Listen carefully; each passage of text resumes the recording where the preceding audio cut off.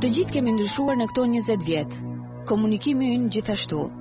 Lëvruesit e gjuhës shqipe që jemi mësuar t'i quajmë studiues, me zell e konsiderojnë gjuhën si një organizëm të gjallë, që ndryshon në varësi të kohës, ndryshimeve politike, sociale dhe kulturore. Por ajo që na shoqëron në diskutimet e përditshme është se si ka ndryshuar gjuha shqipe gjatë viteve të tranzicionit, për mirë apo për keq.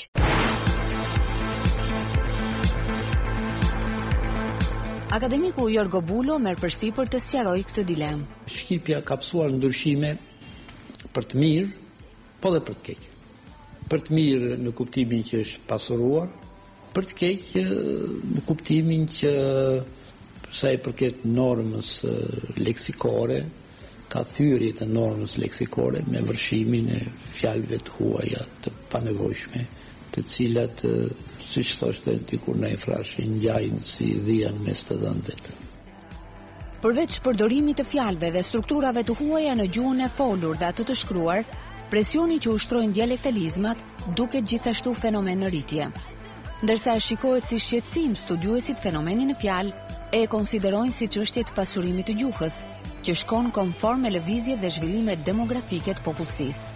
Dialektet janë si përrenjtë që derdhen në lumin e madh të gjuhës shqipe. Por lumi pastaj Ato shkëmbinjtë e thërrmuar i laton në rrjedhën e tij, ato bërsitë i flak anash. Kështu që gjuha merr nga dialektet atë që mund të marrë e përpunon dhe dialektet e pasurojnë gjuhën. Specialistët e fushës thonë se problemi lind kur dialektet kthehen në normë e përdorimeve publike të gjuhës. Ata thonë se në gjuhën e administratës, shkollës, medias dhe në shfaqjet publike, përdorimi i dialektit është i pajustifikueshëm. Ata janë për përdorimin e gjuhës standarte, si shprehje e qytetërimit dhe kulturës së një populli. Dhe në këtë suazë, profesor Bulo i referohet njerëzve të tribunave si shkelësit më të mëdhenj të shqipes. Në përdorimet publike të shqipes ka një pakujdesi të madhe, Ka shkelje të normës në të gjitha rrafshet, të normës leksikore, të normës drejtshkrimore, të normës drejtshqiptimore, të normës gramatikore dhe në përgjithësi një mungesë kujdesi për kulturën e gjuhës. Po çfarë efekti ka përdorimi i dialektalizmave dhe i terminologjive dhe sa të kuptueshme janë ato nga njerëzit e thjeshtë, që hera-herës kthehen në rebus. Ju e kuptoni, le të themi, brezin e ri kur flasin me? Po e kuptoj, s'e kuptoj edhe. Po për shembull fjala high-tech, kur ju thotë çuni e kam high-tech. High-tech domethënë që kështu dhe unë. Po? Se shumë mirë. E vjen dhe si ashtu si gjëra banale, kur thë, ama thë, high-tech thë, shamë nërë. Zonjë, po juve, keni vështirësi ta kuptoni brezin e ri kur flet? Shiko, neve gjuhën nuk e dim, po për keq nuk e kemi se ata janë gjithnjë në të mbarën e tyre, janë um, gjithnjë për të mira. Edhe gjithnjë, po e si mirë fëmija. Po kur s'e kupton ça i thua? Kur s'e kuptoj i them më kthe përgjigje bijë se nuk e di. A ke problem për shembull të kuptosh të moshuarit që kanë që flasin me dialekt? Normalisht që jo. Edhe ato kanë kanë gjuhën e tyre, të trashëguar normalisht edhe ne mund të përshtatemi fare mirë. Pak a shumë.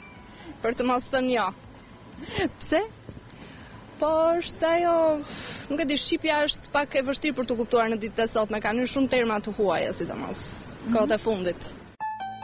Për këtë çështje në mesin e dhjetorit, një konferencë për politikat e pasurimit dhe përmirësimit të gjuhës standarde, pritet të mbledhë në Tiranë në ditët e albanologjisë, ata që hulumtojnë dhe ruajnë brenda kritereve gjuhën e sotme shqipe, që siç parashikohet, mund të bojkotohet nga institucione të ndryshme të gjuhësisë.